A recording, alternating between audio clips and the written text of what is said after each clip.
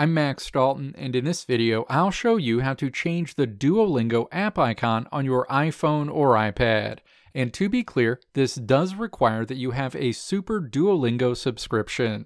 Step 1.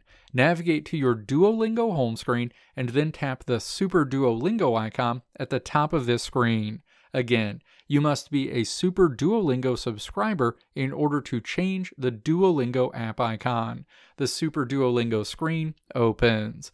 Step 2. Navigate to the Manage Features section and then tap Super App Icon. A window pops up letting you know that you've changed the Duolingo app icon.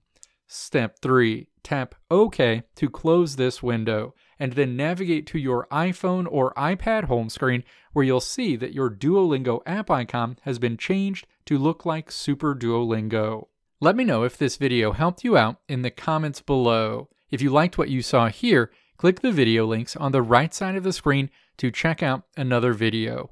Or click the logo on the left side of the screen to check out my tutorial website at www.maxdalton.how.